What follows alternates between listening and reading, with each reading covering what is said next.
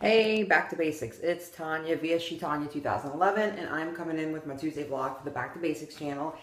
And this is our last week of like the back to school theme. And this week's question is, um, how did our weight affect us, um, our dating life and our social life in high school and in college, um, if at all?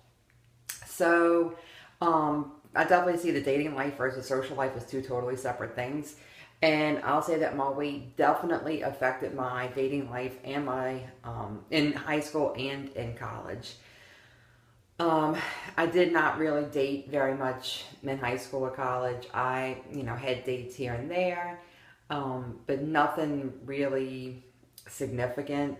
No, um, like real, um, steady boyfriend or anything like that. I, but I did not let it stop my social life. I, have always been a very social person. I like going out and having fun. And so I usually would just tag along. It was either the girlfriends or the girlfriends with their boyfriends and me. And um, the majority of the time, my girlfriends didn't care that I was tagging along with them and their boyfriends. Um, a couple of times in high school, I had a couple of issues with people being a little jealous because I always kind of felt like um, I got along well with my friends' boyfriends um, just as friends, but then sometimes the girls would kind of be a little threatened by that. But the guys never looked at me um, really in a girlfriend type way.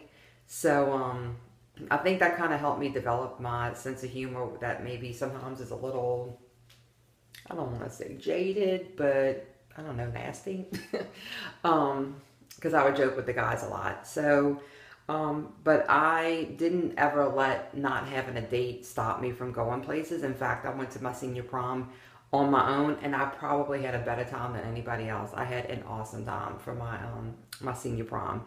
And um two, I was always so focused when I was not my first year of college. First year of college I was just party animal. I didn't care about dating. I didn't care about I just wanted to party. Um, but then once I got focused with school, I was more focused on school and working and I was very active in my um my business fraternity that I was in. And so um that, that all that kind of stuff took up all my time and then I partied when I could whenever I had free time I was going out with my friends partying.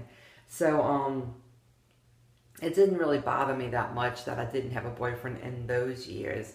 But then I'd say after I finished college and everything kind of settled down and you're not going out like you used to, um, I was a little lonely, you know. But um, yeah, I don't see where it my weight affected my social life because I didn't care. I danced, I drank, I partied heavy. It didn't matter. Um, but it definitely stopped um, my dating life and having any kind of solid relationship. In fact, um, my first like real serious relationship, real serious relationship is was with John, with my husband. So, um, yeah, that's my take on the topic this week. I'll be back next week for another vlog. Bye, guys.